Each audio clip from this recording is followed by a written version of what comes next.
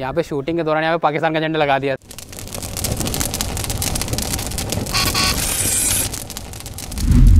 Welcome back to YouTube TV हम लोग आ गए एक नया व्लॉग लेके और ये व्लॉग भाई स्टार्ट हो रहा है राजा की कोठी, जैसा कि बैक में देख सकते हैं। भाई क्या ही दृश्य लग रहा है, मेरे को भी मज़ा आ रहा है, जैसे आप लोग को अच्छा लग रहा है यहाँ पे। भाई शूटिंग हुई थी गुरु रंधावा और ईशा तलवार, यहाँ पे आए हुए थे और शूट हुआ था शाकोट मूवी का। सो जो कि इसी साल रिलीज़ होने वाली है मूवी तब एंट्री इतनी प्रोहिबिटेड थी।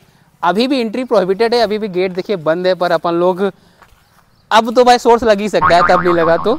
अब एंट्री कर लेंगे अपन लोग। और यहाँ पे आप देख सकते हो काफ़ी उनके जाने के बाद यहाँ पे बहुत ही सफ़ाई है। पहले भी सफ़ाई थी बट अभी कुछ अलग ही फील आ रहा है यहाँ पे आके। सो लेट्स को चलते हैं एक्सप्लोर करते हैं भाई कोठी को कि यहाँ पे कौन कौन से सीन थे और मैं यहाँ पे फ़ोटो वगैरह डालता रहूँगा, जहाँ जाके वो लोग सीन शूट करते थे। सो लेट्स को सो ये फवारा पहले नहीं था, अब यहाँ पे दे दिया गया है। मूवी के टाइम पे इसको बनाया गया था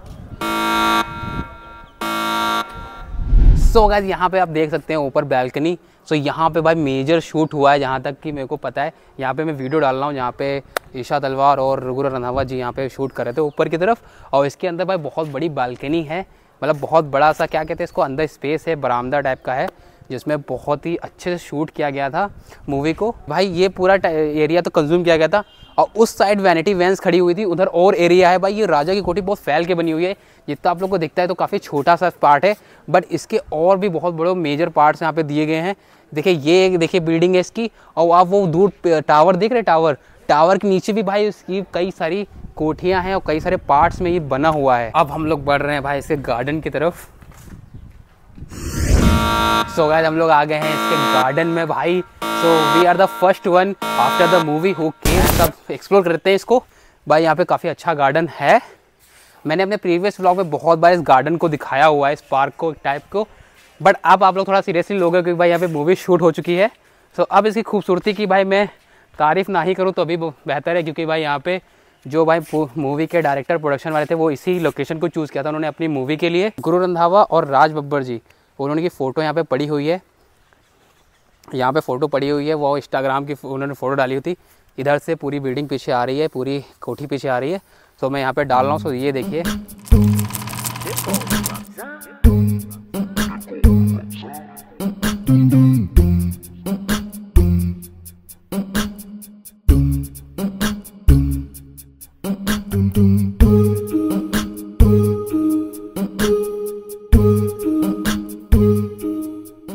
तो भाई एक रूम देख सकते हैं आप यहाँ पे कोठी का अंदर का है ये सीन सो ये बुक्स वगैरह रखी हैं और ये राहुल बता रहे हैं कि ये बुक्स वगैरह जब शूट हुआ था तो उसमें यूज़ हुई थी ये जो मतलब एक्ट्रेस थी उनका रूम को ऐसे ही मतलब बनाया गया था पढ़ने लिखने वाला कुछ तो उसमें शेल्फ में उनके रखी गई थी ये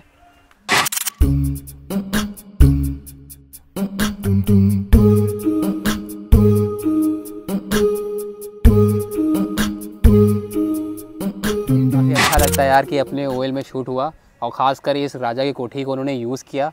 मतलब फीलिंग प्राउड आता है क्योंकि अब ये कोठी और टूरिस्ट प्लेस यहाँ पे बन जाएगा कि यहाँ पे शूटिंग हुई थी मूवी की और वो भी भाई ऐसे ऐसे लोग आए थे जो मतलब वेल नोन इंडिया में ये है भाई बालकनी यहाँ पे देखिए दो भालू रखे हुए हैं जो कि फ़ेमस है काफ़ी और यहाँ पे कुछ आप फील ले सकते हो राजा साहब वाले यहाँ पे चेयर्स वगैरह रखी हैं ओल्ड साइड में। एट द एंड भाई ये कोठी उस लायक है भी शूटिंग के लायक और काफ़ी अच्छे से वह बनी हुई तारीफ़ करूँ, देख यहाँ पे देख सकते हो, काम हो रखा है। नक्काशी की गई है यहाँ पे। भाई सॉलिड ये भाई देखिए, यहाँ पे पत्थर है भाई।